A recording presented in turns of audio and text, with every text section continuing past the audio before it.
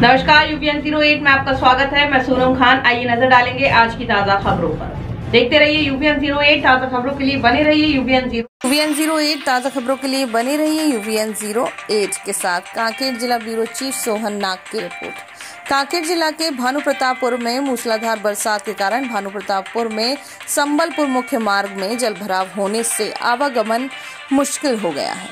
इस समस्या को गंभीरता से लेते हुए तहसीलदार सुरेंद्र उर्वशा ने नगर पंचायत सीएमओ को व्यवस्था ठीक कराने को कहा, जिस पर तत्काल सीएमओ पी एस सोम ने वैकल्पिक व्यवस्था के लिए जेसीबी मशीन के सहारे नाली बनवाई। अब यहाँ पर जलभराव की स्थिति निर्मित नहीं होगी। बता दें कि बारिश से भानु प्रतापपुर से संबलपुर मार्ग पर जनपद पंचायत के सामने जल निकासी नहीं होने की वजह से जल भराव हो गया। इससे आवागमन करने वालों को परेशानी उठाना पड़ रही है।